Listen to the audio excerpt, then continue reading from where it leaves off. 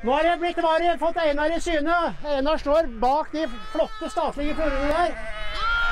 Der, ja. Der uh, ser du Einar i front. Der kommer han. Der kommer Einar. Midt i saueflokken. Lamahengsten gjeter 100 søyer og 200 lam. Jeb, jeb, jeb, jeb, jeb, jeb, jeb! En lama kan angripe og sparke rovdyr som truer flokken, og siden Einar kom for tre uker siden, er ingen lam tatt av rev. Kjem! Jeg har ikke sett noe. Det ser bra ut. Ser bra ut. Og de lamma som er her, er skikkelig friske. Her er det ikke noe diaré og tull. Der, nå passer han på. Han likte ikke at du gjorde det der. ja. Nei, nei, nei. Kjem, kjem, kjem, kjem, kjem, kjem, kjem. Bonden mener også at hans norske pelssauer er så godt avlet at de har en mulighet til å rømme fra rovdyrene selv. Og det vil han gjerne vise oss.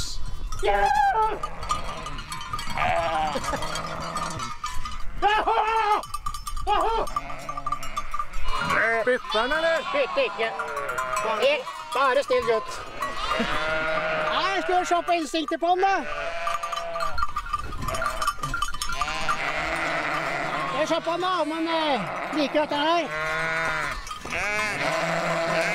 Han har drevet med bare tull i alle år, men nå gjør han utafor seg.